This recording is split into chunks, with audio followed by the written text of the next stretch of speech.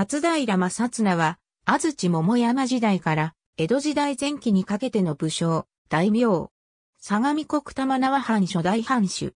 大河内松平宗家初代。世界最長の並木道である日光杉並木の寄進者として知られる。天正4年、徳川氏の家臣、大河内秀綱の次男として誕生。天正15年、主君、徳川家康の命で、長沢松平家分家の松平正次の養子となって、松平姓を称し、文禄元年より家康に起因し、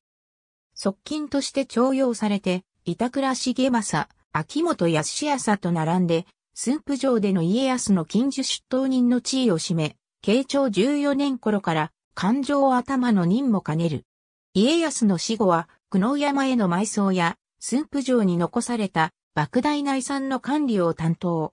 元那3年の日光への改装にも付き従っている。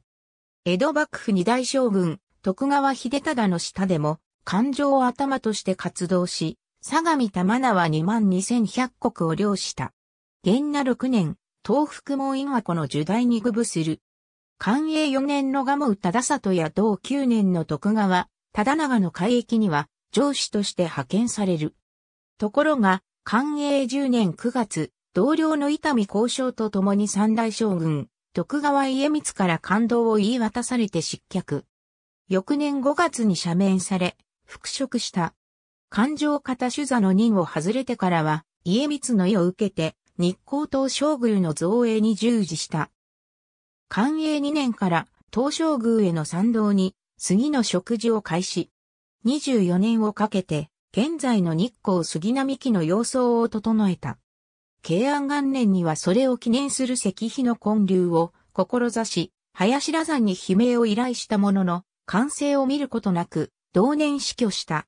反官府には、天下軍国のリム、甲府の結界を司り、洋劇の職にありて、ついに一時の延滞も、なしと評されている。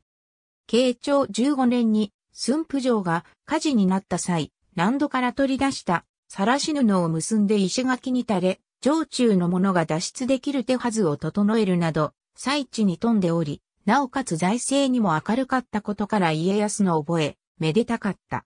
また、家康の死後は敬遠された駿府州の中では唯一、秀忠や江戸老中にも重用された。幕府の財政政策はもとより天領の管理も担当する正綱の立場は後の勘定奉行の前身とはいえ比較にならないほどの牽制を誇り、幕閣の会議を自邸で主催したりなど格式と実力は老中に匹敵した。しかし、不幸にも三大将軍、徳川家光にとっては、権力確立の妨げになる存在とされ、幕閣から排除されてしまうのである。家康の側室。可視されるも後に、李園、再び家康の側室となる、松平重政正室。ありがとうございます。